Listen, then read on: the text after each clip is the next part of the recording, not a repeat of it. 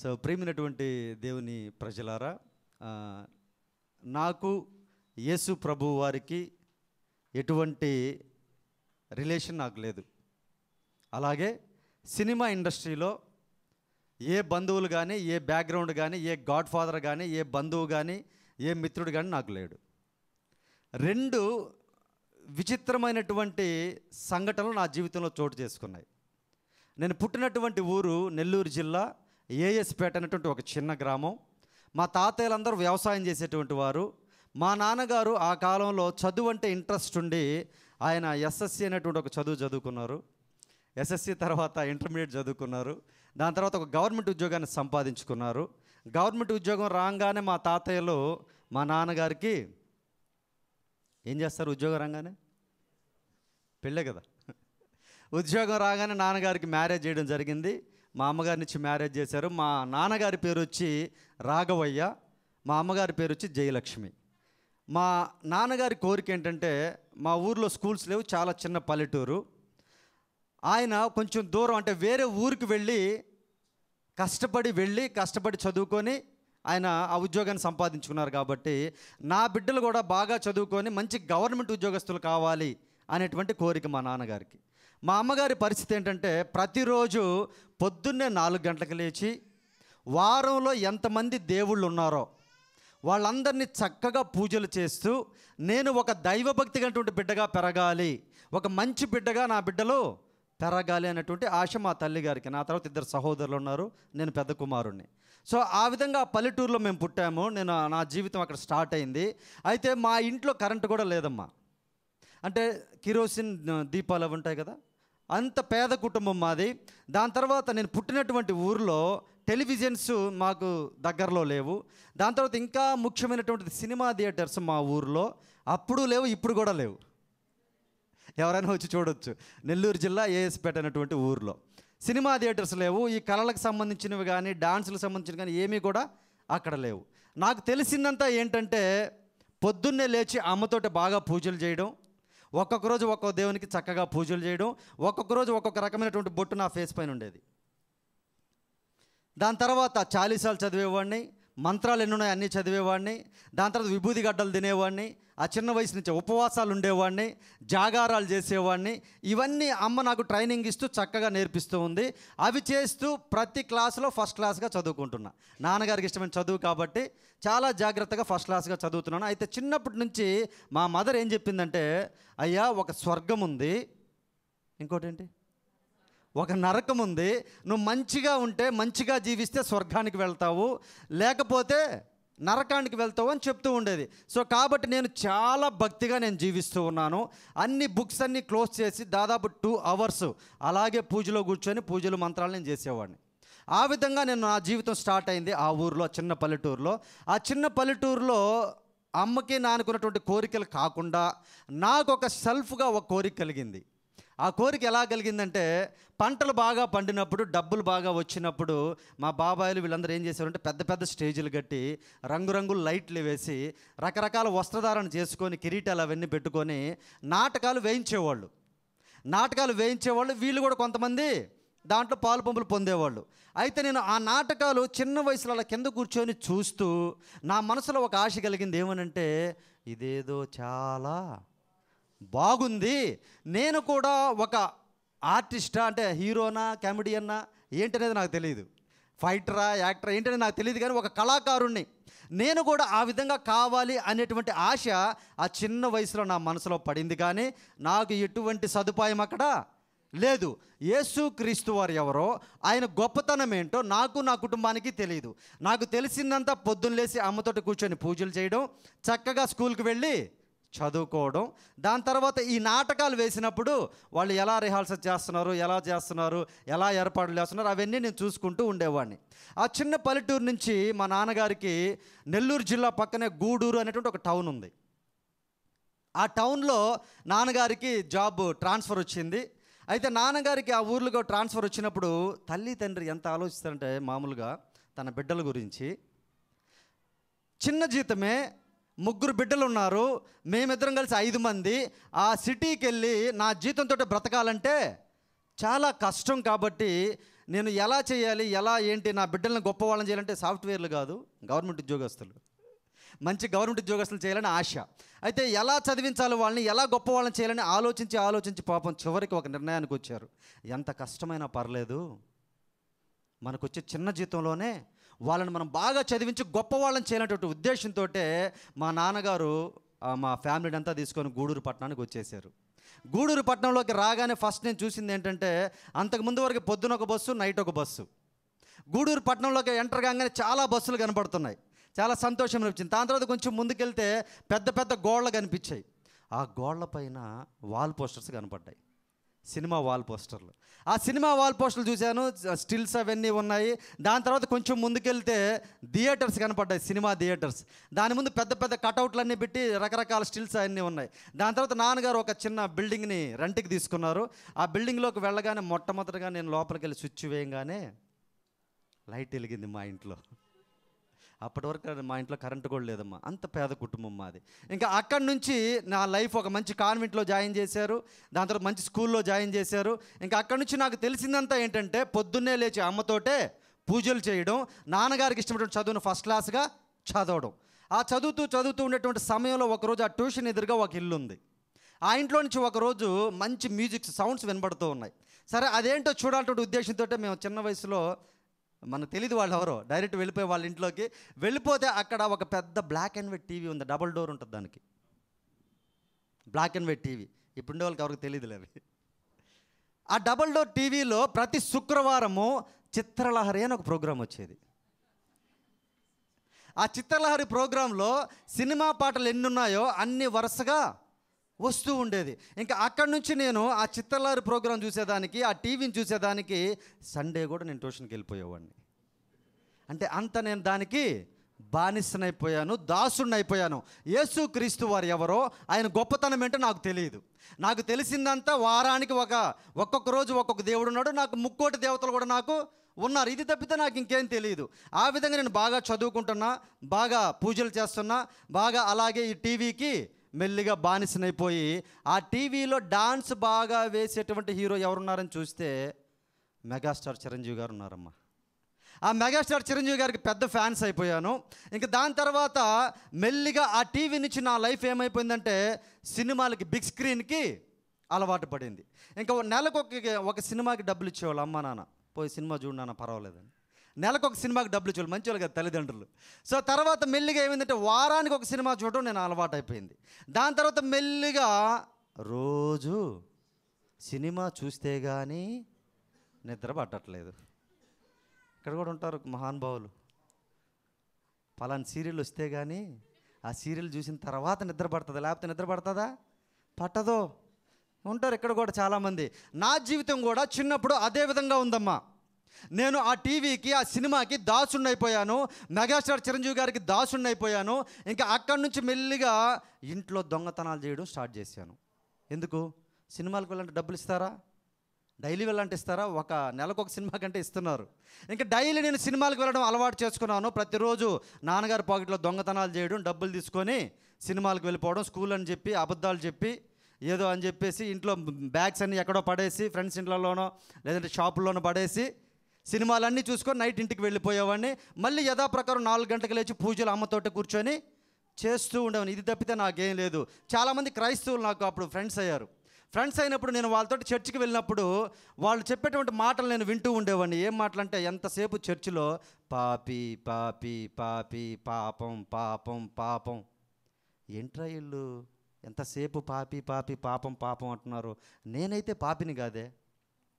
నేను పాపిని కాదు నేను నేను గంగలోకి వెళ్ళి మునుగుతున్నాను వ్రతాలు చేస్తున్నాను బళ్ళు ఇస్తున్నాను ప్రతిరోజు పూజలు చేస్తున్నాను ప్రతిరోజు నా పాపని నేను కడుక్కుంటున్నాను అన్నీ నేను సెటిల్ చేసుకుంటాను కాబట్టి నేనైతే పాపిని కాదు క్రైస్తవులే పాపులు అనుకునేవాడిని. సో ఆ విధంగా నాకు దాని తర్వాత ఆ చర్చికి ఎప్పుడు వెళ్ళామంటే మామూలుగా క్యారల్స్ పడతారు కదా నైట్ క్రిస్మస్ సీజన్లో. సో ఆ టైంలో ఎందుకంటే చాక్లెట్లు బండ్లు కేకులు అవన్నీ ఇస్తారు కదా. సో దానికోసం నేను వెళ్ళేవాడిని.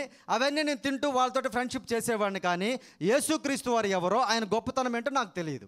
అయితే వాళ్ళు కూడా నాతోటి కొండలకి గుట్లకు వచ్చి లడ్లు గిట్లు బాగా తినేవాళ్ళు. అంతే తప్పితే ఫ్రెండ్షిప్ ఇంకేమీ లేదు ప్రేమైనటువంటి దేవుని బిడ్డలారా. ఆ విధంగా నా జీవితం టెన్త్ క్లాస్ వరకు జరిగింది. టెన్త్ క్లాస్ వరకు నేను నాకు తెలిసిందంతా బాగా చదువుకోవడం బాగా పూజలు చేయడం బాగా సినిమాలు చూడడం. ఇది తప్పితే నాకు ఇంకేం తెలియదు టెన్త్ క్లాస్ ఎగ్జామ్స్ వచ్చాయి కష్టపడి చదివాము. చాలా కష్టపడి రాసాము మా బ్యాచ్ అంతా ఫస్ట్ క్లాస్ స్టూడెంట్స్. ఇంకా ఎగ్జామ్స్ రాసాము కష్టపడి చదివి రిజల్ట్స్ వచ్చాయి. రిజల్ట్స్ వచ్చిన తర్వాత హాల్ టికెట్ నెంబర్లు పేపర్లో న్యూస్ పేపర్లు వస్తాయి కదా? అప్పుడు వచ్చాయి ఇప్పుడు కాదు.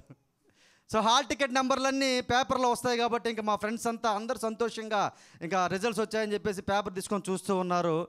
చూస్తూ ఉంటే నెంబర్స్ అన్నీ కంటిన్యూగా వస్తూ ఉన్నాయి. అందరం ఫస్ట్ క్లాస్లో పాస్ అయ్యారు. అందరూ ఫస్ట్ క్లాస్ బ్యాచ్ అందరం చాలా చక్కగా చదువుకునేవాళ్ళం. ఆ విధంగా ఫస్ట్ క్లాస్లో పాస్ అయినటువంటి వాళ్ళందరూ హ్యాపీగా ఉన్నారు హ్యాపీగా ఉన్నారు. అందరి నెంబర్లు వస్తున్నాయి అందరి నెంబర్లు వస్తున్నాయి కానీ నా నెంబర్ రావట్లేదు. నా నెంబర్ మాత్రం ఎంత చూసినా కనపడలేదు. సరే వాళ్ళు ఏమనుకుంటున్నారంటే బాబుకి ఏమైనా స్టేట్ ర్యాంక్ ఏమైనా వచ్చిందేమో? సో నార్మల్గా మనతోటి కంపారిజన్ వేయలేదు. సపరేట్ కాలం వేసి సపరేట్గా ఏమైనా వేసారేమని పేపర్ మొత్తం బిగినింగ్ నుంచి ఎండింగ్ వరకు ఎంత చూసినా కూడా నా నెంబర్ లేదమ్మా. ఎవరు నమ్మట్లేదు. నేను నమ్మట్లేదు. నా నెంబర్ లేదు అంటే. ఏమైనా మిస్టేక్ అయిందా ప్రింటింగ్లో? ఏమైనా మిస్టేక్ అయిందని చెప్పి అన్ని పేపర్లు ఎన్ని పేపర్లు చూసినా కూడా నా నెంబర్ లేదు. చివరికి ఏమైందంటే అన్ని సబ్జెక్ట్లో ఫస్ట్ క్లాస్ మార్కులు ఉన్నాయి కానీ ఒక్క సబ్జెక్ట్లో ఒక్క మార్కులో ఫెయిల్ అయిపోయా. ఉన్నారమ్మా ఇక్కడ ఎవరన్నా ఒక్క మార్కులో ఫెయిల్ అయిన వాళ్ళు ఉన్నారా? దేవునికి స్తోత్రం. ఒక్క మార్కులో నేను ఫెయిల్ అయిపోయాను. అయితే నేను నమ్మట్లేదు. ఏంటని ఎంక్వైరీ చేపిస్తే అన్ని సబ్జెక్టులో ఫస్ట్ క్లాస్ మార్కులు ఉన్నాయి కానీ ఒక సబ్జెక్ట్లో ఒక్క మార్కులో ఫెయిల్ అయిపోయానని నేను తెలిసింది. ఇంకా అక్కడి నుంచి నా లైఫ్ ఎలా మారిపోయిందంటే ఇంకా ఆత్మహత్య చేసుకోవాలా? ఎటైనా వెళ్ళిపోవాలా? ఏంటి నా పరిస్థితి? నేను ఫెయిల్ అవ్వడం ఏంటి? ఇంత మంచి పేరు నాకు ఇప్పటివరకు ఉన్నింది చదువులో. నేను ఎందుకు ఫెయిల్ అయ్యాను? నేను ఎక్కడికైనా వెళ్ళిపోవాలా? ఏంటి అవమానం నాకని విపరీతమైనటువంటి వేదనతోటే ఇంకా అక్కడి నుంచి మా అమ్మగారి దగ్గరికి వెళ్ళిపోయి మా అమ్మ చదువుకోలేదమ్మా ఆమెకి లోక జ్ఞానం తెలియదు పాపం. ఆమె దగ్గరికి వెళ్తే ఆమె ఏడుస్తూ ఉంది ఏడుస్తూ ఉంది ఏడుస్తూ ఉంది. మా ఎందుకు నేను ఫెయిల్ అయ్యాను? చక్కగా చదివాను. చ- ఎగ్జామ్స్ బాగా రాశాను. దానికన్నా పూజలు బాగా చేశాను. ఏ దేవుడు ఒక్క మార్కేసి నన్ను పాస్ చేయించలేదా ఏంటమ్మా ఇది? అని అడిగితే మా అమ్మ బోర్ని ఏడుస్తూ ఉంది ఏడుస్తూ ఉంది. ఎందుకంటే నేనే ఫెయిల్ అయితే నా తర్వాత ఇద్దరు సహోదరులు ఉన్నారు. నేనే ఫెయిల్ అయితే వాళ్ళిద్దరి పరిస్థితి ఏంటి? వాళ్ళిద్దరు చక్కగా చదువుకుంటారా? వాళ్ళు ఎప్పుడైతే నేను ఫెయిల్ అయ్యానో మా అమ్మ వాళ్ళు మా నాన్నగారి బాధ ఏంటంటే పెద్దోడే ఫెయిల్ అయ్యాడంటే మిగతా ఇద్దరి పరిస్థితి ఏంటి? వాళ్ళు ఒకవేళ ఫెయిల్ అయితే ఏమంటారు? మా అన్న ఏమన్నా పాస్ అయ్యాడు అంటారా అనరా? మా అక్క ఏమన్నా బాగా చదివిందా? మా అక్క ఏమన్నా పాస్ అయిందా? సో నేను కూడా అంతే. అంటే వాళ్ళకు ఒక సాకు దొరుకుతుంది వాళ్ళ బాధ అంతా అది. పెద్దోడే తప్పిపోయాడంటే మిగతా ఇద్దరి పరిస్థితి ఏంటి? మేము ఎందుకు ఈ సిటీకి వాళ్ళని తీసుకొచ్చాం? ఎందుకు అంత వాళ్ళని ఖర్చు పెట్టి చదివిస్తున్నాం? వాళ్ళకి ఏది కావాలంటే చూస్తున్నాం. ఈరోజు పెద్దోడు ఫెయిల్ అయ్యాడని మా ఇంట్లో వేదన స్టార్ట్ అయిందమ్మా. మొట్టమొదటిగా నా జీవితంలో మా అమ్మ నాన్న మా కుటుంబం అంతా బాధపడుతూ ఉంది. ఏడుస్తూ ఉన్నారు. నేను ఏడుస్తూ ఉన్నా. అందరం చాలా బాధగాను. ఆ రోజు నేను ఒక డిసైడ్మెంట్ తీసుకున్నాను. ఏమనంటే చదువు మీద పగబట్టా నేను. చదువు మీద పగబట్టి ఇది మొదలుకొని చదువు నాకు అబ్బదు. ఇది మొదలుకొని చదువు నాకు అబ్బదు అని వేరే వాళ్ళు ఎవరు చెప్పాలి? నేనే డిసైడ్ అయిపోయా ఇంకా. నాకు ఇంక చదువు వద్దు చదువు నాకు అబ్బదనేసి నేను ఇంక చదువుకోనని చెప్పేసి అక్కడి నుంచి ఆ ఊర్లో ఒక డాన్స్ మాస్టర్ క్లాస్ పెట్టుంటే ఆయన దగ్గరికి వెళ్ళిపోయి కేవలం మా అమ్మగారు సపోర్ట్ అమ్మ. ఎప్పుడైతే టెన్త్ నేను ఫెయిల్ అయ్యానో మా నాన్నగారు నాతోటి మాట్లాడడం మానేశాడు. నా ముఖం చూడడం మానేశాడు. ఇంకా అక్కడి నుంచి మా అమ్మతోటి నేను ఎప్పుడు సన్నిహితంగా ఉండేవాడిని కాబట్టి తల్లి ప్రేమ చాలా గొప్పది. నేను తెలుసుకున్నటువంటిది ఏంటంటే బైబిల్ చదివిన తర్వాత ఆ దేవుని తర్వాత ఎవరైనా నిన్ను కానీ నన్ను కానీ ప్రేమిస్తున్నారంటే అది ఒక తల్లి మాత్రమే అమ్మ. హలే దాని తర్వాత తండ్రి కూడా. తల్లి మాత్రం చాలా ప్రేమ కలిగింది. ఆ ప్రేమ నేను అనుభవించాను కాబట్టి నేను చెప్తూ ఉన్నా. మా తల్లి సపోర్ట్తో ఒక డాన్స్ క్లాస్లో జాయిన్ అయిపోయాను సినిమా ఇండస్ట్రీలో. అంటే సినిమాలో డాన్స్ నేర్పించే ఒక మాస్టర్ దగ్గర. దాని తర్వాత నాతోటి చదువుకున్నటువంటి మంచి గ్యాంగ్ అంతా ఇంటర్మీడియట్కి వెళ్ళిపోయారు. ఆ మంచి గ్యాంగ్ అంతా వెళ్ళిపోయిన తర్వాత నాకు ఒక తొట్టి గ్యాంగ్ ఏర్పడింది. వాళ్ళ పని ఏముంటుంది? తొట్టి గ్యాంగ్ అంటే ఏం పని ఉంటుందమ్మా? పొద్దున్న లేస్తే తల్లిదండ్రి చక్కగా వండి పెడితే తినడం. ఇంకా ఊరి మీద పడి తిరగతా ఉండడం. ఆ గ్యాంగ్ నాకు ఏర్పడిపోయింది. మేమంతా ఒక గ్రూప్ అయిపోయాము. ఆ డాన్స్ క్లాస్లో జాయిన్ అయిపోయి ఇంకా అక్కడి నుంచి ఆ ఊర్లో ఏ పెళ్ళైనా ఏ తద్దినమైనా ఏ ఊరేగింపైనా ఏ చావుపోతున్నా డప్పు కొడుతున్నా కూడా మేమంతా గ్రూప్ అయిపోయి డాన్స్ చేసేవాళ్ళం. ఎందుకు డబ్బుల కోసం కాదు మా టాలెంట్ మేము నిరూపించుకోవాలి అనే ఉద్దేశంతో ఇంకా అక్కడి నుంచి ఊర్లో బాగా మేము డాన్సులు అవన్నీ చేస్తూ మంచి పేరు తెచ్చుకున్నాం. ప్రతి ఊర్లో కళా పోషకులు అని ఉంటారు. ఎవరు? కళాకారులు కాదు. కళా పోషకులు అంటే వాళ్ళు ఏం చేస్తారంటే వాళ్ళు చేయరు కానీ వెనక ఉండి పుషప్ పస్తూ ఉంటారు. సో ఆ విధంగా మా ఊర్లో కూడా కళా పోషకులు కొంతమంది ఉండి మమ్మల్ని చూసి ఏమన్నారంటే మీలో బాగా టాలెంట్ ఉంది. మీలో మంచి ప్రావీణ్యత ఉంది. సో కాబట్టి మీరు ఈ ఊర్లో ఉండొద్దు అని అన్నారు. అరే ఏంటి ఈ ఊర్లో ఉండొద్దంటే మరి ఎక్కడికి వెళ్ళాలి మేము అని అంటే వాళ్ళు చెప్పినటువంటి మాట సినిమా ఇండస్ట్రీకి వెళ్ళిపోండి అన్నారు. సినిమా ఇండస్ట్రీకి వెళ్ళిపోండి అనేటువంటి మాట వినగానే ఆల్రెడీ నా ఆత్మ నా ఆత్మ వెళ్ళిపోయి చిరంజీవి గారు పక్కన డాన్స్ చేస్తూ ఉంది ఆల్రెడీ. ఆ మాట వినడంతోనే ఏంటి ఆయన వెండి స్క్రీన్ పైన సిల్వర్ స్క్రీన్ పైన చూస్తూ ఉన్నాం మేము. ఆయన పక్కన డాన్స్ చేసేటువంటి అవకాశం అంటే ఎలా ఉంటుంది? ఎంత గొప్పది అది అరే ఏంటి ఇంత మాట చెప్పారు? వీళ్ళు సినిమా ఇండస్ట్రీకి వెళ్ళిపోమన్నారు ఏంటి అని చాలా సంతోషపడిపోయి ఇదేదో బాగుంది ఐడియా అని చెప్పేసి ఇంకా అక్కడి నుంచి మేము చెన్నై పట్టణానికి వెళ్ళిపోయాం. యేసు క్రీస్తు వారు ఎవరో నాకు తెలియదమ్మా. ఆయనకు గొప్పతనం ఏంటో నాకు తెలియదు. టెన్త్ క్లాస్ ఫెయిల్ అయిన తర్వాత నాకున్నటువంటి జ్ఞానంలో నేను తెలుసుకున్నది ఏంటంటే యేసు క్రీస్తు వారు అమెరికా వాళ్ళ దేవుడు అని తెలుసుకున్నా.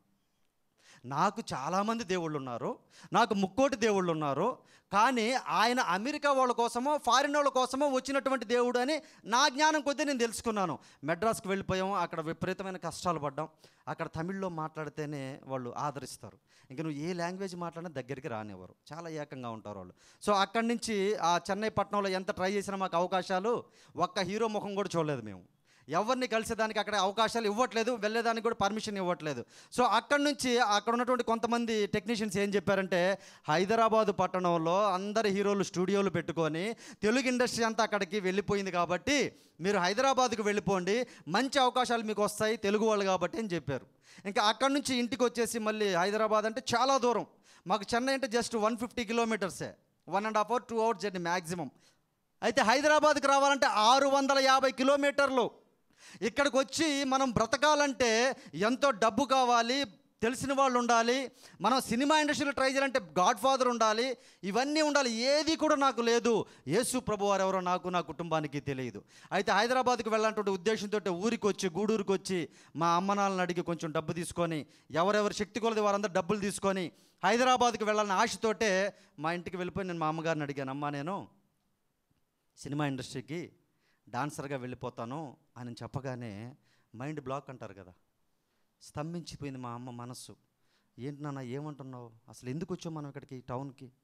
ఎందుకు మిమ్మల్ని కష్టపడి చదివించాం ఏంటి మీరు ఈరోజు నువ్వు ఇలా అంటున్నావు? సినిమా ఇండస్ట్రీ ఏంటి? అక్కడ ఎవరున్నారు నీకు? ఎవరు తెలియదే? నువ్వు అక్కడ పోయి ఎలా బ్రతకతావు? ఇంతకుముందు చెన్నై అన్న కూడా మనకు చాలా దగ్గర ఉంది నువ్వు బ్రతికున్నావో? చచ్చావనే విషయం అన్న తెలుస్తుంది. ఆరు వందల యాభై కిలోమీటర్లు నువ్వు వెళ్తున్నావు అంటే అక్కడ ఎవరు మనకు లేరు నాన్న. ఏం చేస్తున్నావు అని చెప్పి ఏడుస్తూ ఉంది బాధపడుతూ ఉంది. అమ్మ మీరు ఏమైనా చెప్పండి నేను ఇంకా.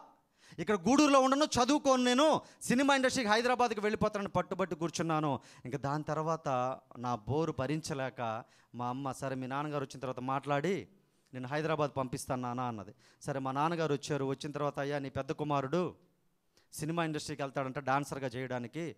సో అతను పంపించేదానికి ఏర్పాట్లు మనం చేయమని అడుగుతూ ఉన్నాడని అంటే మా నాన్నగారు ఎంత ఆనందపడ్డారంటే నిజంగా చాలా ఆనందపడ్డారు. ఎందుకంటే సినిమా ఇండస్ట్రీలో ఎవరు లేరు మనకి? సినిమా ఇండస్ట్రీలో ఎవరు మన తరపున ఎవరు లేరు. సో నువ్వు వెళ్ళి అక్కడికి వెళ్ళి సినిమా ఇండస్ట్రీలో చేస్తానంటే చాలా ఆనందం అని చెప్పి బెడ్రూమ్లోకి వెళ్ళిపోయి బీరువా తీసి ఒక పదివేల రూపాయలు కట్ట తీసుకొని వచ్చి నాకు ఇచ్చాడా ఇచ్చాడయ్యా? లోపలికి వెళ్ళాడు బెడ్రూమ్లోకి వెళ్ళి నాన్న ఒకసారి లోపలికి రా అన్నాడు. లోపలికి వెళ్ళగానే టక్మన్ గడియబడింది. టక్మన్ గడియబడింది. లెదర్ బెల్ట్ తెలుసు కదా తోల్ బెల్ట్. ఒరిజినల్ ఉంటుందమ్మా ఇప్పుడన్నా డూప్లికేట్లు వస్తున్నాయి. ఆ లెదర్ బెల్ట్ తీసుకొని డోర్ వేసి నా జీవితంలో ఏ రోజు కూడా అలా కొట్టలేదు నా తల్లి నా తండ్రి. ఏ రోజు నా పైన చేయలేదు. విపరీతంగా కొట్టి నా పొరుగు ఈ ఊర్లో తీసింది కాక రాజధానికి వెళ్ళిపోయి నువ్వు నా పొరుగు తీయాలనుకుంటున్నావరా? నువ్వు నా కొడుకువే కాదు నువ్వు నాకు అసలు నీకు నాకు సంబంధమే లేదు నువ్వు చచ్చిపోయినా పర్వాలేదని చెప్పి విపరీతంగా కొట్టి రూమ్లో పెట్టి తాళం వేసి వెళ్ళిపోయాడు ఇంకా. ఆఫీస్కి వెళ్ళిపోయాడు. ఇంకా అక్కడి నుంచి తల్లిదండ్రుల మీద నేను ఇంకా రివెంజ్ తీర్చుకుంటున్నా. ఏ విధంగా? తల్లిదండ్రుల మీద ఏ విధంగా రివెంజ్ తీసుకుని ఇప్పుడైతే తిడతారు కొడతారు. కానీ ఆ టైంలో మేమైతే అలిగేవాళ్ళం. అలిగి అన్నం తినకుండా మానేసి ఇంకా ఏం మాట్లాడలేదు వాళ్ళతోటే ఇంకా. మా అమ్మగారితో ఏం మాట్లాడలేదు ఆ గోడ పైన గోడ వైపు ముఖం తిప్పుకొని కూర్చొని నన్ను సినిమా ఇండస్ట్రీకి పంపిస్తే కానీ నేను మాట్లాడను తిననని చెప్పేసి మారం చేస్తే తల్లి ప్రేమ ఎంత గొప్పదమ్మా. ఆ కిటికీలోంచి బతిలాడుతున్నాను ఆయన తినరా చచ్చిపోతావరా అని. అయినా కూడా నేను వినలేదు. వినకుండా మా అమ్మని ఫోర్స్ చేసి మా అమ్మని బ్లాక్మెయిల్ చేసి నువ్వు నన్ను ఖచ్చితంగా పంపించాలి. లేకపోతే నీతోటి చిన్నప్పటి నుంచి నేను పూజలు చేశాను కదా. నీతోటి కూర్చొని నీకు సపోర్ట్గా ఉన్నాను కదా. నాకు ఈ మాత్రం సపోర్ట్ చేయలేవా అమ్మ అని మా అమ్మని బ్లాక్మెయిల్ చేసి బెదిరించి చివరికి మా అమ్మ ఒక బంగారు ఉంగరం ఉంటే నాకు ఇచ్చేసింది. వెళ్ళిపోనాయన అని. నువ్వు సినిమా ఇండస్ట్రీ అంటే ఇంట్రెస్ట్ అంటున్నావు కదా. ఇంకా నీ ఇష్టం నీ లైఫ్ వెళ్ళిపోనాయనంటే మా ఫ్రెండ్స్ అందరం కలిసి దాదాపు ఒక పది మంది దాకా కలిసి హైదరాబాద్ పట్టణానికి వచ్చేసాం. హైదరాబాద్ పట్టణానికి వచ్చిన తర్వాత ఆ ఉంగరం అమ్మితే కొంచెం డబ్బు వచ్చింది. ఆ డబ్బులు తీసుకొని మా గురువు గారికి ఇచ్చాము. ఒక రెండు నెలల పాటు మాకు కావాల్సిన అన్ని సరుకులు కానీ ఫుడ్ కానీ అన్నీ చూ అన్నీ మాకు ఏర్పాటు చేశారు. యూసఫ్ గూడాలో ఒక రూమ్ రెంట్కి తీసుకున్నాం. ఇంకా అక్కడి నుంచి ఒక రెండు నెలల పాటు అన్ని స్టూడియోలు చూస్తూ ఉన్నాం. కొంతమంది ఆర్టిస్టులు హీరో హీరోయిన్స్ని చూస్తున్నాం. ఎక్కడి నుంచి? స్టూడియో గేట్లోనే లోపలికి ఎంట్రీ లేదు. స్టూడియోలో గేట్లో నిలబడి అందరినీ హీరోలు హీరోయిన్స్ పోతుంటే చూస్తున్నాం. లోపలికి ఎంట్రన్స్ లేదు మెంబర్షిప్ కార్డు ఉండాలి లోపలికి వెళ్ళాలంటే. సో ఇంకా అక్కడి నుంచి ఒక రెండు నెలల పాటు హ్యాపీగా ఉంది మా లైఫ్. ఇంకా దాని తర్వాత రెండు నెలల తర్వాత మొట్టమొదటిగా నా జీవితంలో ఆకలి అంటే ఏందో నేను రుచి చూశాను. ఇంకా తినేదానికి తినలేదమ్మా. డబ్బులన్నీ అయిపోయినాయి. అప్పటి వరకు ఆకలి వేస్తే మనిషి ఎంత బాధపడతాడో నాకు తెలియదు. విపరీతమైన కడుపు నొప్పి వస్తుంది. నీళ్ళు తాగితే తగ్గిపోతుంది. సాయంత్రం సమయంలో ఒక మిత్రుడు రెండు ఇడ్లీ తీసుకొని వచ్చి ఇస్తే కడుపు నొప్పి పూర్తిగా తగ్గిపోయింది. అప్పుడు నాకు అర్థమైంది ఏంటంటే ఇది ఆకలి కడుపు నొప్పి అని. ఇంకా అక్కడి నుంచి నాకు ఆకలి జీవితాలు స్టార్ట్ అయినాయి. దాని తర్వాత నాతోటి వచ్చినటువంటి గ్యాంగ్లో ఒకరోజు నైట్ పడుకొని పొద్దున్నే చూసేసరికి ఎనిమిది మంది బ్యాగ్స్ లేవు. వాళ్ళ తల్లిదండ్రుల దగ్గర హ్యాపీగా ఇక్కడ హైదరాబాద్ సినిమా ఇండస్ట్రీ ఉంటే మనం చచ్చిపోతాము ఇక్కడ మనకు అన్నం పెట్టేవాడు కూడా ఎవరు లేడు అని చెప్పి వెళ్ళిపోయారు అంతా. ఇంకా తర్వాత నేను నా ఫ్రెండ్ పావుల్ అని ఉన్నాడు ఇంకొక నలుగురం కలిసి చావైనా బ్రతుకైనా సినిమా ఇండస్ట్రీయే ఖచ్చితంగా మనం గ్రూప్ డాన్సర్స్గా అవ్వాలని గట్టి పట్టుదలతోటే ఆ హైదరాబాద్ ప్రాంతంలో అలాగే ఉండిపోయాం. దాని తర్వాత రూమ్ రెంట్ కట్టేదానికి డబ్బులు లేకపోతే రూమ్ ఓనర్ బయటికి నెట్టివేస్తే కృష్ణానగర్ ప్రాంతంలో ఇప్పటికీ ఆ పార్క్ అలానే ఉందమ్మా పచ్చని పార్కు. ఆ పార్కులో నేను కొన్ని నెలల పాటు నేను పండుకున్నా.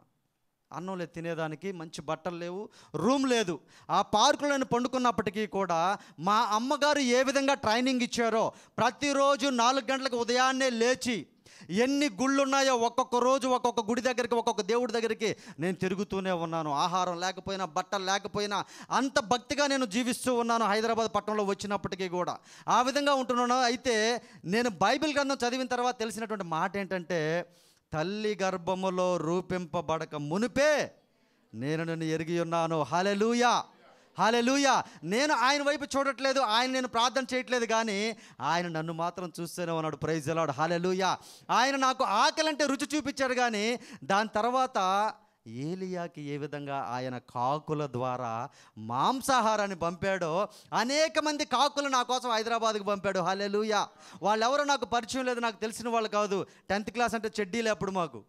అంటే మమ్మల్ని చూసి జాలిపడి వీళ్ళెవరో చిన్నపిల్లలు ఇక్కడ ఈ పార్కులో ఉంటున్నారు ఏంటని అనేక మంది మమ్మల్ని పోషించారమ్మా. నేను ఆ విధంగా ఉన్నప్పుడు కూడా పూజలు అయితే విపరీతంగా చేస్తూ ఉన్నాను. దాని తర్వాత నా ఫ్రెండ్స్ కొంతమంది బొట్టు అవన్నీ పెట్టుకుంటుంటే అవన్నీ ఎందుకు పెట్టుకుంటావు నీవు? అవన్నీ పెట్టుకోవద్దంటే యేసుక్రీస్తు మీద నాకు ఎగనిస్ట్ స్టార్ట్ అయిపోయింది. క్రైస్తవులంటే ఎగని స్టార్ట్ అయిపోయింది. ఎందుకు బొట్టు తీసేయమంటున్నారు మీరు? ఎందుకు అలా అంటున్నారు? దాంట్లో ఏంటి తప్పు? అని నేను ఇంకా క్రీస్తుకి విరోధిగా మారడం స్టార్ట్ అయిపోయింది. ఇంకా దాని తర్వాత ఎన్ని కష్టాలు ఉన్నాయో జీవితంలో ఆ కష్టాలన్నీ చిన్న వయసులో నేను పడిపోయాను పదిహేనేళ్ళ వయసు నుంచే. ఎన్ని కష్టాలు ఉన్నాయో అన్ని కష్టాలు నేను అనుభవిస్తూనే నాకు ఒకటే నిశ్చయం సినిమా ఇండస్ట్రీలో డాన్సర్ కావాలి. అది తప్పితే ఇంకేం నా ఆలోచన లేదు. ఎన్ని కష్టాలను భరిస్తూనే ఉన్నాం. ఆ విధంగా హైదరాబాద్ పట్టణంలో నేను జీవిస్తూ ఉన్నాను. యేసు క్రీస్తు అంటే నా కోపం స్టార్ట్ అయింది. క్రైస్తవులు అంటే నా కోపం స్టార్ట్ అయింది. దగ్గరికి రానిచ్చేవాడిని కాదు వాళ్ళు ఇవన్నీ చెప్తారేమో అని. అందు గురించి నేను ఆ విధంగా నేను వాళ్ళతో ఫ్రెండ్షిప్ చేయకుండా నేను పూజలతోనే జీవిస్తూ ఉన్నాను పూజల్లోనే జీవిస్తూ ఉన్నాను. దాని తర్వాత మళ్ళీ ఒక మిలిటరీ నుంచి ఒక కాకి వచ్చి ఒక పాటకు డాన్స్ నేర్చుకొని వాళ్ళ మిలిటరీలో ఏదో ప్రోగ్రామ్ ఉందంటే మాకు ఒక మెంబర్షిప్ కార్డులు తీసి చేసి మళ్ళీ ఆ కాకి ఎలా పోయిందో మాకు తెలియదు. సినిమా ఇండస్ట్రీలో డాన్సర్స్గా ఒక మెంబర్షిప్ కార్డు ఉంటుంది. ఆ కార్డు తీసిచ్చేసి అతను వెళ్ళిపోయాడు డాన్స్ ఒక పాటకు నేర్చుకొని. ఇంకా అక్కడ నుంచి చిన్న హీరోలు అందరూ వెనకాల నేను గ్రూప్ డాన్సర్గా మెల్లిగా నా లైఫ్ స్టార్ట్ అయింది. నా నేను నా మిత్రుడు పౌల్ అని ఉన్నాడు ఇద్దరం కలిసి. మేము డాన్సర్స్గా చేస్తున్నాం చేస్తున్నాం చేస్తున్నాం కానీ నా ఆశ అంతా ఏంటి? ఎప్పుడు మెగాస్టార్ గారి పక్కన డాన్స్ చేస్తామా? ఇది తప్పితే నాకు వేరే ఆశ లేదు. నేను ఎప్పుడు పెద్ద స్టార్స్ పక్కన నేను డాన్స్ చేస్తానటువంటి ఆశ తప్పితే ఇంకేం లేదు. నేను ఆ విధంగా జీవిస్తున్నాను ఆ టైంలో ఒక ఫ్రెండ్ వచ్చి బ్రదర్ మీకు అరే నీకు రెండు రోజుల తర్వాత మెగాస్టార్ చిరంజీవి గారితో షూటింగ్ ఉంది అని చెప్పాడు. అక్కడి నుంచి ఆకలి లేదు దాహం లేదు నైట్ ఇప్పుడు పడుకుంటే నిద్ర కూడా రావట్లేదు. కళ్ళు మూస్తే ఆయన మూమెంట్లే గుర్తొస్తున్నాయి. కళ్ళు మూస్తే ఆ సినిమా పాటలే గుర్తొస్తున్నాయి. అంటే అంత బానిసనైపోయాను నేను ఆయనకి. నా జీవితం మొత్తం నా మనస్సు మొత్తం ఆయన నిండిపోయి ఉన్నాడు. ఆయన ఎప్పుడైతే ఆయన పక్కన నేను డాన్స్ చేసే అవకాశం వచ్చిందని నాకు వినిపించిందో ఆనందంతో ఆ రెండు రోజులు ఆ విధంగా గడిపాను. మూడో రోజు షూటింగ్కి వెళ్ళాను. మాస్టర్ అంటుంటే ఒక సినిమా చిరంజీవి గారిది మెగాస్టార్ గారిది. దాంట్లో ఫస్ట్ టైం నేను డాన్సర్గా చేశాను.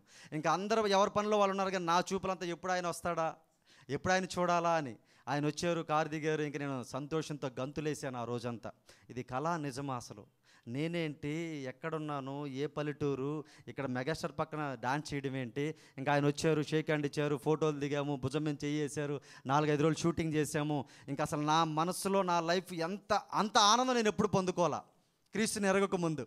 అంత ఆనందాన్ని నేను పొందుకున్నాను. ఇంకా అక్కడి నుంచి సినిమా డాన్స్ మా హీరోస్ ఎంతమంది ఉన్నారో వాళ్ళందరి వెనకాల నేను గ్రూప్ డాన్సర్గా కొన్ని వందల సినిమాలకు నేను చేశాను. దాని తర్వాత అసిస్టెంట్ అయ్యాను. దాని తర్వాత మాస్టర్ అయ్యాను. మాస్టర్ అయిన తర్వాత డబ్బులు రావడం బాగా స్టార్ట్ అయినాయి. ఇంకా అక్కడి నుంచి వెండి విగ్రహాలు వెండి కుందులు వెండి గంటలు మొత్తం ఏదైతే నాకు నచ్చిందో పోతూ ఉంటే ఏదైనా ఒక మంచి విగ్రహం కనపడితే ఇమ్మీడియట్లీ తీసుకొచ్చి మన ఇంట్లో పెట్టేసేవాడిని. అంటే విపరీతమైన పూజలు నేను చేస్తున్నాను దాని తర్వాత సినిమా ఇండస్ట్రీలో ఇంకా ఇంకా పూజలకి ఎక్కువ స్కోప్ అనమాట వాళ్ళు పొద్దున్న కొబ్బరికాయ కొట్టి కెమెరాకి దండం పెట్టుకొని బొట్లన్నీ పెట్టి షూటింగ్ స్టార్ట్ చేస్తారు.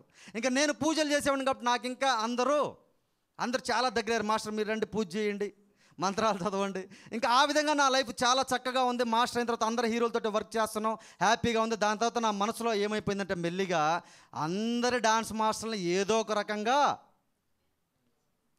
కిందకి తొక్కేసి మనం పైకి ఎక్కడికి? పైకి వెళ్ళాలి. అంటే మనకే మంచి పేరు రావాలి నాకే మంచి అవకాశాలు రావాలి నాకే మంచి గుర్తింపు రావాలన్నటువంటి స్వార్థపటువంటి మనసు నాకు వచ్చేసింది. ఇంకా అక్కడ నుంచి డబ్బులు ఎప్పుడైతే రావడం స్టార్ట్ అయ్యాయో ఆటోమేటిక్గా ఇక్కడ ఎవరు మంచి చెడు చెప్పేటువంటి వారు ఎవరు లేరమ్మా నాకు. ఇంకా అక్కడి నుంచి మెల్లిగా వ్యసనాలకి బానిసనైపోయాను. పొద్దుటి నుంచి కష్టపడి సాయంత్రం దాకా ఎండలో షూటింగ్స్ చేసి వారిచ్చే కష్టార్జితాన్ని అంతటిని తీసుకొని సాయంత్రం డైరెక్ట్గా బార్కి వెళ్ళిపోయేవాడిని బార్కి వెళ్ళిపోయి ఆయనకేదో పూర్వజన్మలో అప్పు ఉన్నట్టుగా ఆ డబ్బంతా ఆ డబ్బంతా తీసుకొని ఆ టేబుల్ పైన పోసేసి కుతికిల దాకా తాగేసి రూమ్కి వెళ్ళి పండుకొని మళ్ళీ యథాప్రకారం నాలుగు గంటలకు లేచి పూజలు మొత్తం పునస్కారాలు మొత్తం హారతులు గంటలు అవన్నీ కామనే మళ్ళీ షూటింగ్ వచ్చింది. దాని తర్వాత నా లైఫ్ ఎలా అయిపోయిందంటే shooting bar shooting bar shooting bar. Shooting bar. Bar లేకపోతే ఇంట్లోనే బారు. అంతే కదా కొన్ని రోజులు ఉండవు కదా ముఖ్యమైన రోజుల్లో బార్లు.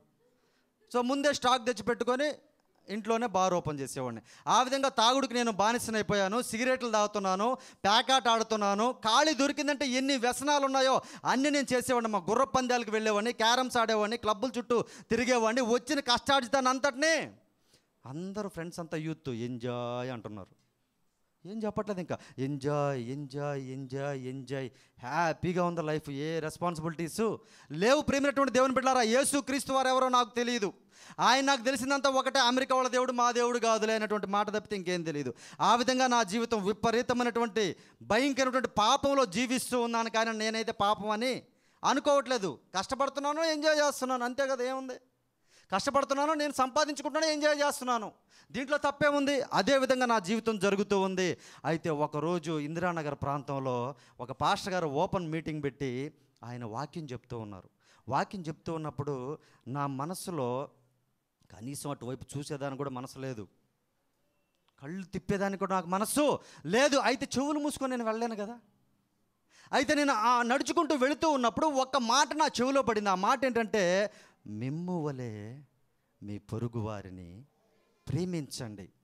మిమ్ము వలె మీ పొరుగు వారిని ప్రేమించండి. మిమ్ము వలె మీ పొరుగు వారిని ప్రేమించండి అనేటువంటి మాట నా చెవిలో పడి నా మనసులోకి వెళ్ళి నా మైండ్లో మొత్తం అదే తిరుగుతూ ఉంది. అప్పుడు నాకు ఒక ఆలోచన కలిగింది ఏమనంటే చిన్నప్పుడు ఆ నాటకాలు చూసినప్పుడు ఇదేదో బాగుంది నేను చేయాలని ఎలా ఆశపడ్డానో ఊర్లో డాన్సులు బాగా వేసినప్పుడు మీరు సినిమా ఇండస్ట్రీకి వెళ్ళిపోండి అన్నప్పుడు ఏ విధంగా నేను ఆలోచించానో ఈ మాటలో ఉన్న సత్యాన్ని తెలుసుకోవాలి ఏంటి దీనికి అర్థం అని ఒక ఆలోచన నాకు కలిగింది. అప్పుడు నా ఫ్రెండ్ పాల్ని నా కింద అసిస్టెంట్ మాస్టర్గా ఒక ఆనంద భద్రని పనిచేస్తూ ఉన్నాడు. వాళ్ళిద్దరిని ఒక పాస్టర్ గారు అప్పుడప్పుడు సినిమా ఇండస్ట్రీకి వస్తూ వాక్యం చెప్తున్నారు యోహాన్ పాస్టర్ గారని. వాళ్ళ ముగ్గురిని పిలిచి బ్రదర్ ఏంటి ఈ అర్థం ఏంటి? అని అడిగా. అడిగితే వాళ్ళు చెప్పినటువంటి మాట నేను ఏ విధంగా ఉండాలని నేను కోరుకుంటున్నానో అదే విధంగా నా ప్రక్కనటువంటి వాళ్ళు కూడా ఉండాలి అని మాటలతో కాదు పెదవులతో కాదు పూర్ణ హృదయంతోటే కోరుకోవాలి అని చెప్పారు. ఆ మాట వినగానే ఏంటి? నేను మంచి అవకాశం పొందుకుంటే నేను మంచి హీరోతో సాంగ్ చేస్తే నా ప్రక్కన డాన్స్ మాస్టర్ కూడా అదేవిధంగా మంచి హీరోతో సాంగ్ చేయాలని కోరుకోవాలా? అసలు ఎలా సాధ్యం ఇది నిజంగా? ఆలోచించేదానికి నేను ఆలోచించాలని. చెయ్యాలంటే ఎంత శక్తి కావాలి? ఎంత తగ్గింపు స్థితి కావాలి? ఎంత ప్రేమ కావాలి? ఎంత అణుకువ కావాలి? ఎంతో గొప్ప పరిస్థితి కావాలి. ఎవరి మాట చెప్పారో అని అడిగితే సర్వ సృష్టిని సృజించినటువంటి సృష్టికర్త అయినటువంటి తండ్రి అయినటువంటి దేవుని కుమారుడైనటువంటి యేసు క్రీస్తు వారి మాట చెప్పారు అన్నారు. హాలెలుయా హాలెలుయా యేసు క్రీస్తు వారి మాట చెప్పారు అనగానే నాకు చాలా సంతోషం అనిపించింది. నాకు కాదు ఈ మాట అని. యేసుక్రీస్తు వారు చెప్పారంటే వాళ్ళకే కదా. నాకు కాదంటే బ్రదర్ నీకే చెప్పారు ఆయన ఆయన నీ కోసం ఈ లోకానికి వచ్చారని చెప్పారు. అదే అంటే నా కోసం వచ్చినటువంటి దేవుళ్ళు చాలామంది ఉన్నారా నాకు? నాకు ముక్కోటి దేవతలు ఉన్నారు. ఆయన వచ్చింది అమెరికా వాళ్ళ కోసం కదంటే లేదు బ్రదర్ ఆయన నీ కోసం ఈ లోకానికి వచ్చాడు. నీ కోసం ఆయన ఈ లోకానికి వచ్చి నీవు చేసిన ప్రతి పాపము ప్రతి దోషము వాటన్నింటినీ ఆయన భుజముల మీద వేసుకొని కలువరి సిలువలో ఆయన పరిశుద్ధమైనటువంటి రక్తాన్ని చిందించి ఆ రక్తంలో నీ పాపములన్నీ కడిగి వేసి ప్రాణం పెట్టాడు ఆయన. ఎందుకు ప్రాణం పెట్టాడంటే నిన్ను నిత్య జీవానికి తీసుకువెళ్ళుట కొరకు. హాలెలూయా హాలెలూయా నిత్య జీవానికి తీసుకువెళ్ళుట కొరకు అంటే నాకు తెలిసిన లాంగ్వేజ్ ఏంటి? స్వర్గానికి తీసుకువెళ్ళట కొరకు హలెలుయ అప్పటి వరకు స్వర్గం ఒకటి ఉందని నాకు తెలుసు కానీ అక్కడికి నన్ను ఎవరు తీసుకెళ్తారో నాకు తెలియదు అక్కడికి ఏ బస్సు వెళ్తుందో ఏ ట్రైన్ వెళ్తుందో ఏ ఫ్లైట్ వెళ్తుందో ఏ వ్యక్తి నాకు మార్గమో నాకు తెలియదు ఎప్పుడైతే నేను ఆ మాటను విన్నానో ఒక్కసారి నేను నా మనస్సు మొత్తం ఒక భయంకరమైన వేదనకు గురైపోయింది. నా కోసం ప్రాణం పెట్టేటువంటి వాళ్ళు నిజంగా ఉన్నారు ఈ లోకంలో. నా తల్లి నా తండ్రి నా బంధువులు నా మిత్రులందరూ విడిచిపెట్టారు సినిమా ఇండస్ట్రీ అంటే. డాన్సులు అంటే అదేదో భోగం వాళ్ళు వేసేది నువ్వేంటి అక్కడికి వెళ్ళేది? నీకు మాకు సంబంధం లేదని విడిచిపెట్టారే. ఏ మంచి లేనటువంటి నా కోసం నేను చేసినటువంటి పాపముల కోసం ఒక దేవుడు ఈ లోకానికి వచ్చి మరణించాడా? ఇది నిజమా అని చెప్పి మోకాళ్ళ మీద పడిపోయి అక్కడ నుంచి నేను ఏసు ఏసు ఏసు ఏసు ఏసు ఏసు అంటూ ఉంటే నా దేవుడు నా దేవుడు నాతోటి మాట్లాడుతున్నాడు అప్పుడు. ఆయన ఏం మాట్లాడుతున్నాడంటే నీవు చేసిన ప్రతి పాపము ప్రతి దోషము ప్రతి అపరాధము వాటినన్నింటినీ కొట్టివేశాను అన్నాడమ్మా. హలెలూయా హలెలూయా కొట్టివేశాను అనగానే నా మనస్సు మొత్తం ఏదో ఒక తేలికైపోయింది. నా మనసు మొత్తం ఎంతో బరువంతా దిగిపోయినట్టు అయిపోయింది. అప్పుడు నేను ఒక దృశ్యాన్ని చూశాను. ఏంటంటే నా పక్క డాన్స్ మాస్టర్లు నా పక్కింటోళ్ళు నా బంధువులు నా స్ట్రీట్లో ఉండేవాళ్ళు నా పైనింటోళ్ళు అందరూ సంతోషంగా తెల్లని వస్త్రాలు వేసుకొని పావురాలు ఎగురుతూ అందరూ సంతోషంగా ఉన్నారు. అంతకుముందు డ్రీమ్లో నేను ఒక్కడే సంతోషంగా ఉండేవాడిని. ఎప్పుడైతే ఆ దృశ్యాన్ని నేను చూశానో ఆయన ఎదుట మొట్టమొదటిగా నేను మో యేసు యేసు యేసు అని మోకరించినప్పుడు చిన్నప్పటి నుంచి ఊహ తెలిసినప్పటి నుంచి అప్పటి వరకు చేసిన ప్రతి పాపాన్ని నా దేవుడు నాకు సినిమా వేసి చూపించాడు. నా పాపాల సినిమా అంతా వెళ్ళిందమ్మా. అవన్నీ చూసిన తర్వాత మొట్టమొదటగా పాపిని అని ఆయన ఎదుటి నేను ఒప్పుకున్నా. హలెలుయా అంతకుముందు వరకు పాపి అంటే తరుముకొని కొట్టేవాడిని. తిట్టేవాడిని బూతులు తిట్టేవాడిని. మొట్టమొదటగా అప్పుడు నేను ఆయన ఎదుట పాపిని అని ఒప్పుకొని ఆయన పాపాలన్నీ కడిగి వేసేటటువంటి వార్తన అంటే నాకు ఒక దర్శనమో నాకు ఒక వెలుగో నా ముందేమో యేసుప్రభు వచ్చి నిలవలేదమ్మా. నా మనసులో ఒక సంఘర్షణ జరుగుతూ ఉంది. ఒక క్వశ్చన్ ఒక ఆన్సర్ వస్తూ ఉంది. ఒక క్వశ్చన్ ఒక ఆన్సర్ వస్తూ ఉంది. ఆ క్వశ్చన్ ఆన్సర్లోనే నేను నా హృదయాన్ని మొత్తం ఆయనకి అప్పుడే ఇంకా యేసు యేసు యేసు యేసు అంటూ ఆయనకి సమర్పించిన తర్వాత ఆయన అన్నటువంటి మాట ఏం చేయాలి ప్రభు అంటే ఇది మొదలుకొని నీవు నాకు సాక్షిగా జీవించు అన్నాడు. హాలెలూయా హాలెలూయా అక్కడి నుంచి నేను నా కోసం ప్రాణం పెట్టినటువంటి దేవుళ్ళు ఎవరైనా ఉన్నారా నేను పూజించేటువంటి వాళ్ళని ఒక్కసారి తిరిగి చూస్తే నా ఇల్లు మొత్తం విగ్రహాలు. ఏ ఒక్క దేవుడు కూడా నా కోసం ప్రాణం పెట్టేటువంటి వారు లేరు. ఎవరు కూడా నా కోసం ప్రాణం పెట్టేటువంటి వారు నాకు కనపడలేదు. ప్రపంచంలో ఎంతమంది దేవుళ్ళని పిలువబడుతున్నారో వాళ్ళల్లో ఎవరు కూడా పాపి కోసం ప్రాణం పెట్టినటువంటి వారు మనుషులను రక్షించేదానికి వచ్చినటువంటి వారు ఎవరైనా ఉన్నారని చూస్తే ఎవరు నాకు కనపడలేదు. అక్కడి నుంచి నేను బైబిల్ చదవడం నేను స్టార్ట్ చేశాను. అక్కడి నుంచి నేను యేసు ప్రభు గురించి తెలుసుకోవడం నేను స్టార్ట్ చేశాను. ఇంకా అక్కడి నుంచి నా మనస్సును నేను మార్చుకున్నాను. నా వ్యసనాలు నేను విడిచిపెట్టేశాను. ఇంకా అక్కడి నుంచి నేను ఎలా మారిపోయానంటే షూటింగ్కి వెళితే ఎంత పెద్ద హీరో అయినా ఉండని డాన్స్ మాస్టర్ అంటే ఖచ్చితంగా నటరాస్వామి విగ్రహానికి పూజలు చేసి షూటింగ్ స్టార్ట్ చేయాలి. ఎప్పుడైతే నా ప్రభువుని నేను నమ్ముకున్నానో అన్య జనుల మధ్యలో అనేక మంది జనుల మధ్యలో నేను నా దేవునికి ప్రార్థన చేసి షూటింగ్ స్టార్ట్ చేసేవాడిని. హాలెలూయా ఎందుకంటే నేనైతే మారు మనసు పొందాను నేను వేరే ఉద్యోగం వేరే వ్యాపారం చేసుకునే దానికి నాకు శక్తి లేదు నాకేమీ తెలియదు ఒక డాన్స్ తప్ప నాకు ఇంకే టాలెంటు తెలియదు కాబట్టి సినిమా ఇండస్ట్రీలో నేను కొనసాగుతూ ఉన్నాను. అక్కడి నుంచి ఎంత పెద్ద హీరో అయినా ఉండని చక్కగా ప్రార్థన చేసి షూటింగ్ స్టార్ట్ చేసేవాడిని. అన్ని జనుల మధ్యలో ఆయన నామాన్ని నేను కనపరచడం స్టార్ట్ చేసిన తర్వాత ఆయన ఏం చేస్తాడు? అలలుయా ఆయన నేను ఎప్పుడైతే గణపరచడం నేను స్టార్ట్ చేశానో నా దేవుడు నన్ను గణపరచడం స్టార్ట్ చేశాడు. ప్రైజ్ దలాడ్ హాలెలూయా అప్పటి వరకు డాన్స్ మాస్టర్ ముక్కు ముఖం ఎలా ఉంటుందో ఎవరికీ తెలియదు వాళ్ళంతా బిహైండ్ ద స్క్రీన్ హీరోసే హీరోయిన్స్ మాత్రమే.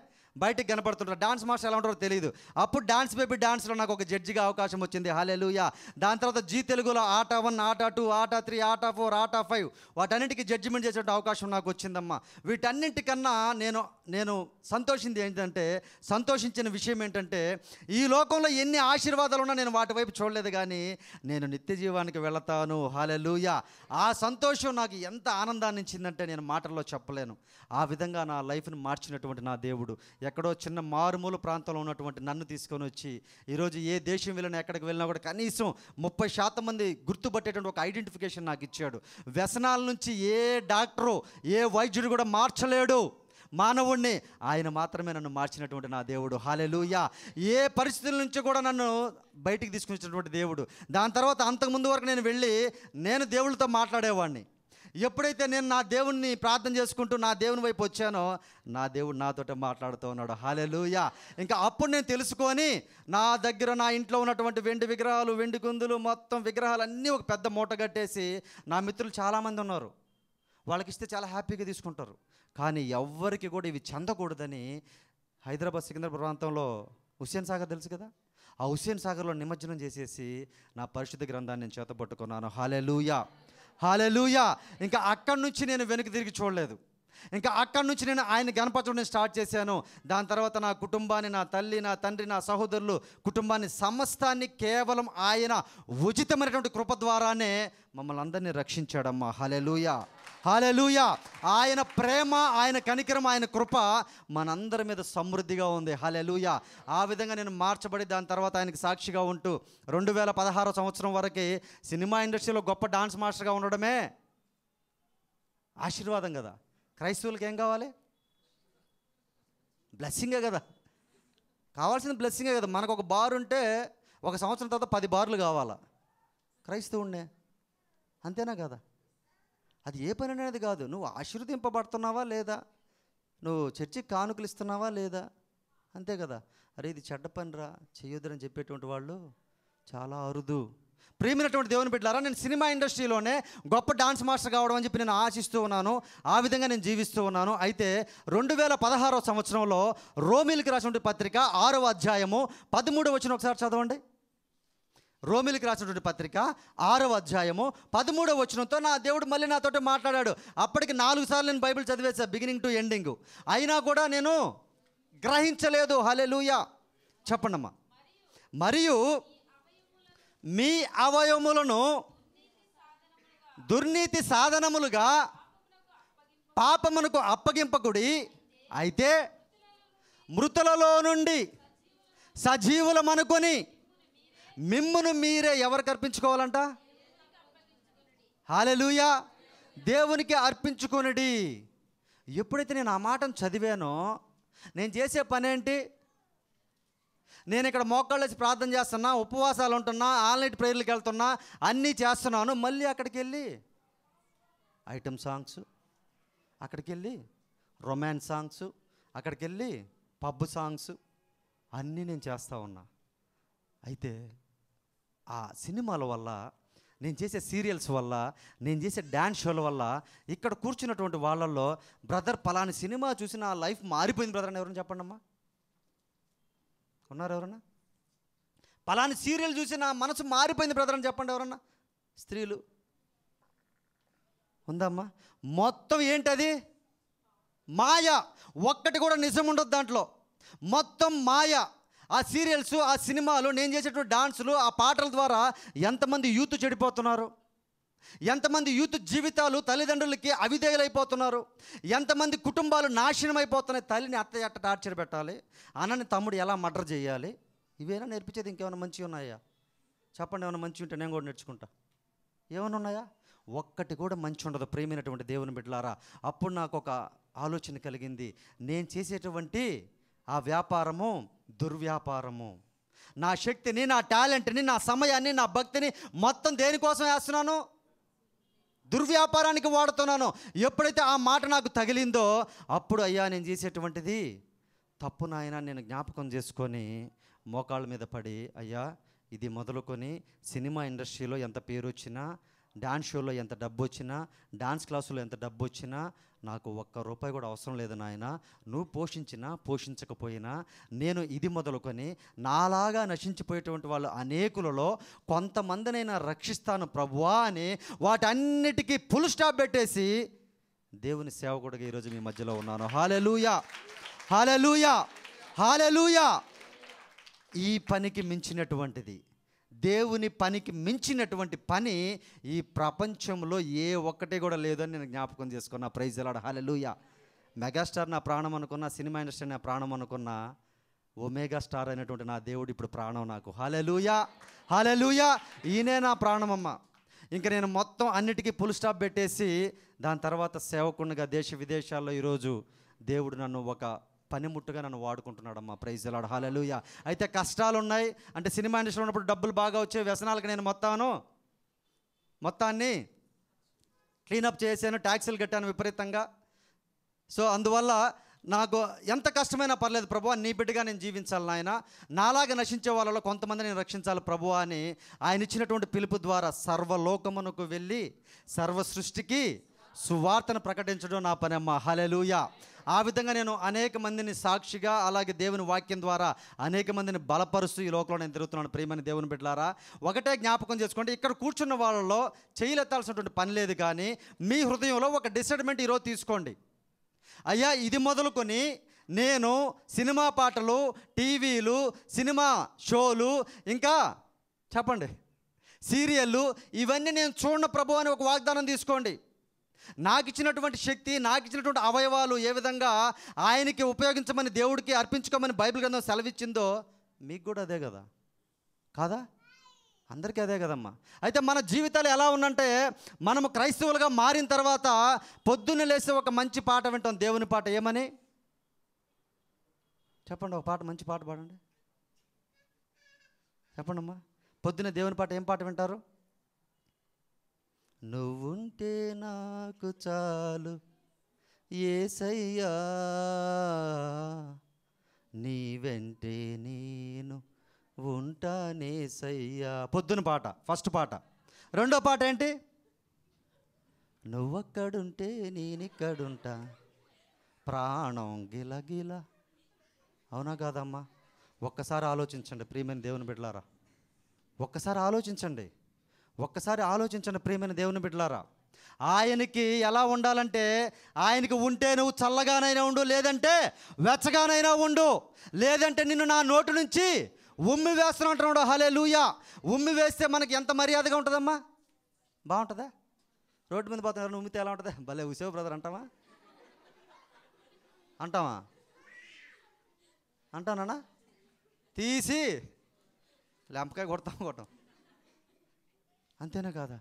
కానీ దేవుడు ఏమంటున్నాడంటే నా నోటు నుంచి మిమ్మల్ని ఉమ్మి వేస్తానంటున్నాడు ఎంత ఘోరమమ్మా. ప్రేమైనటువంటి దేవుని బిడ్డారా జ్ఞాపకం చేసుకోండి. ఆ సీరియల్స్ సినిమాలు పాటలు వీటన్నిటి ద్వారా మన మైండ్ మొత్తం సాతానికి మనము అప్పగిస్తున్నాం. మనం ఆదివారం పొద్దున సాయంత్రం వచ్చేదానికి జనాలు లేరు. పొద్దున నుండి సాయంత్రానికి మీటింగ్ రాండి అంటే ప్రార్థనకి లేరు. అదే ఆరు రోజులు మనం ఎక్కడ ఉంటాం? లోకంలోనే ఉంటాం. ఆరు రోజులు లోకంలోనే ఉంటాం. ఏడో రోజు వచ్చి ఆయన్ని మనం ఎంత ప్రార్థన చేసి ఎంత గింజుకొని ఎంత చేసినా ఇక్కడ మాత్రం మనం పరిశుద్ధులుగా ఉంటాము బాగుంటాం కానీ బయటికి పోతే మళ్ళీ మన క్రియలు అలా ఉంటే ఏమైనా ప్రయోజనం ఉందా? ఏ ప్రయోజనం లేదు ప్రియమైన దేవుని బిడ్డారా దయచేసి ఈరోజు ఒక డిసైడ్మెంట్ తీసుకోండి. ఈ రెండు వేల పంతొమ్మిదవ సంవత్సరంలో ఆయన ఈ ఫిబ్రవరి మాసం నుంచి ఈ రోజు నుంచి మన జీవితాలు ఆశీర్వదింపబడాలంటే మనలో ఉన్నటువంటి కలుపు మొక్కలన్నింటినీ పనికిరాని తీగలన్నింటినీ మనం ఏం చేయాలి? హాలలుయా తేల్చిపాడేనమ్మా ఖచ్చితంగా ఆ విధంగా చేస్తేనే మనం ఆశీర్వదింపబడగలం. మనం ఎందుకంటే రాకడకి చాలా దగ్గరలో ఉన్నాం ప్రియమైన దేవుని బిడ్డారా జ్ఞాపకం చేసుకోండి. కాబట్టి నేనే నాకు వచ్చే లాభాన్నే వదులుకొని నాకు వచ్చే లగ్జరీ లైఫ్ని నాకున్నటువంటి పేరునంతా వదులుకొని నేనే వచ్చి దేవుని బిడ్డలతో కష్టమైన పర్లేదు నేను బ్రతుకుతున్నానే. మీకేంటమ్మా బాధ? సీరియల్ చూడకపోతే చచ్చిపోతారా? సినిమాలు చూడకపోతే చచ్చిపోతారా బ్రదర్? పదిహేను వందల టికెట్ అయినా వెళ్ళిపోతున్నారు పొద్దున్నే మార్నింగ్ షోకి. ప్రీమియర్ షో అని. వెళ్ళట్లేదా? పదిహేను వందల టికెట్ అయినా రెండు వేలు టికెట్ అయినా వెళ్ళిపోతున్నారు. ఎవరంటే మనోళ్ళు అక్కడ ఉండేది ఎవరు ఉండరు. వాళ్ళు తక్కువ ఉంటున్నారమ్మా అన్యులు తక్కువ ఉంటున్నారు. మనోళ్ళే ఎక్కువ మంది ఉంటున్నారు ప్రైజ్ లాడు ఎంత ఘోరం అది. దయచేసి జ్ఞాపకం చేసుకోండి ప్రియమైన దేవుని బిడ్డలారా. మన కోసం ఆయన ఆలస్యం చేస్తున్నాడు. హలెలుయా ఇతరులు మారేది తర్వాత విషయం. నా బిడ్డలుగా పిలువబడుతున్నటువంటి వీళ్ళు తప్పిపోయి ఉన్నారు. మార్గం వీళ్ళు మారితే నేను వచ్చేస్తాను. ఆయన వాళ్ళని తీసుకుపోతానని వెయిట్ చేస్తున్నాడు మన కోసం ఆయన. హలెలుయా హలెలూయా కాబట్టి ప్రియమైన దేవుని బిడ్డలారా వాటన్నిటికీ ఫుల్ స్టాప్ పెడతామని ఈరోజు ఒక డిసైడ్మెంట్ తీసుకోండి. ఒక డిసైడ్మెంట్ తీసుకొని ఆ ప్రకారం ఈ సంవత్సరం జీవించండి. ఈ సంవత్సరం జీవిస్తే ఆయన మళ్ళీ మనకి ఇంకా కొత్త ఉన్నతమైనటువంటి స్థితిని ఇస్తూ ఉంటాడు. ప్రైజ్ అలాడు హాలెలుయ కాబట్టి కళ్ళు మూసుకుంటే ఒక్క మాట ప్రార్థన చేసుకొని వాక్యాన్ని ధ్యానించుకుందాం. పరిశుద్ధుడా పరిశుద్ధుడా పరిశుద్ధుడా నీకు వందనాలు నాయన. నీకే స్థుతులు నేను చెల్లించుకొని చూన్నాను